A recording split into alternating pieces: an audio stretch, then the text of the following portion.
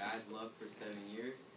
So our, our hypothesis was that if you break an individual mirror, you will have bad luck for seven years because it imbalances your psycholo- psychological thoughts.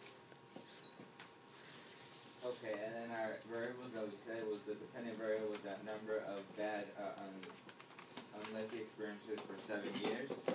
Our independent variable was how you break the mirror and level of superstitious, gender, and age, and mental state. And our constants were a number of years of bad luck and the same type of mirror.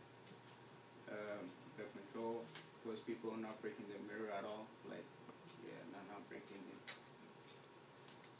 And we would test it by measuring the brain activity before, then, and people who break the mirror and after they measure their brain activity for the next seven years.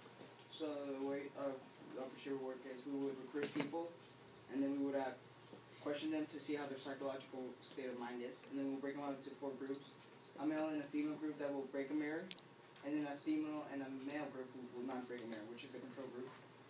Then uh, each individual breaks uh, the same kind of mirror in the same room, and then we will measure the events of bad luck each year for seven years, since it's uh, you get bad luck for seven years, and after seven years we will see which group had the most events of bad luck.